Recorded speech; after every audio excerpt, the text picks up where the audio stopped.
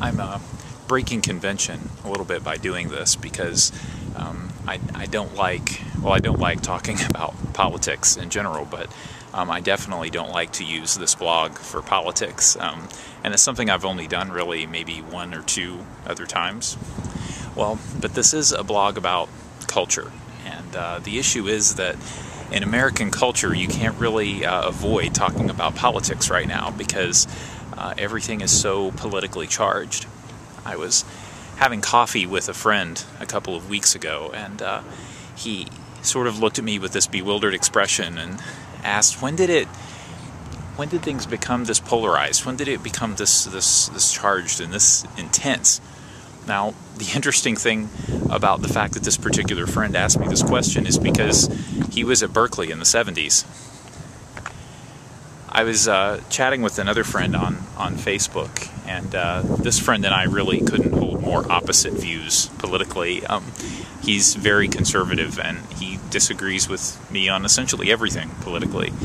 And uh, he said that he was so angry at me because of my views. And I also remember he said that, that he just didn't believe in this concept of bipartisanship that, um, that that basically one of the two sides had to win that they couldn't they couldn't work together. The issue is that in the U.S. there's really only two political parties that that can really have power. And now, in theory, other parties exist, but in reality, um, there's only two parties representing rather extremely opposite viewpoints that are allowed to really be in power. And that's an issue within itself. But what concerns me is that in the past, past couple of decades, I guess, I've, I've seen the, the viewpoints and the, the platforms of those two parties become increasingly arbitrary and increasingly polarized.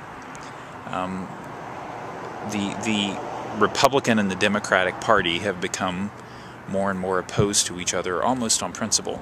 And while the Republican Party has earned a reputation of being the party of no and voting down everything that comes from the other side, just on the principle that it came from the other side, to be fair, this is something that both sides are guilty of.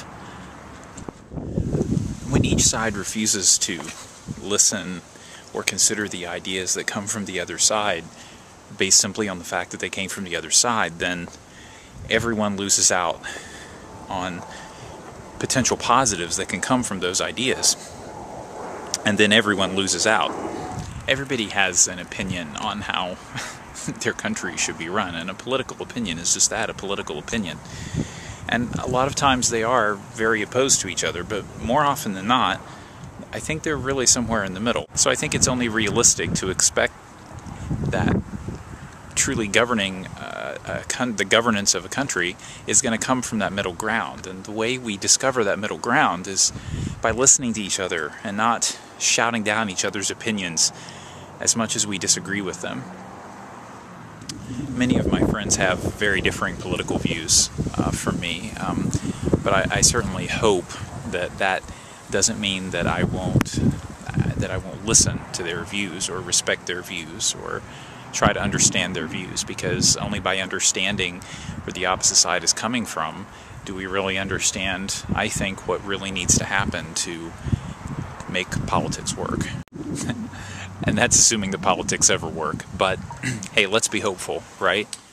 So, to my US viewers, go out on Tuesday and vote your opinions and discuss your opinions and listen to others' opinions and whatever you do, don't be angry at that person for having those opinions because when we listen to each other's opinions, that's how we grow and that's how both sides of the extreme come closer to the truth. And in reality, the government that we elect will be a hybrid of our opinions. And that's good because that's how effective government functions.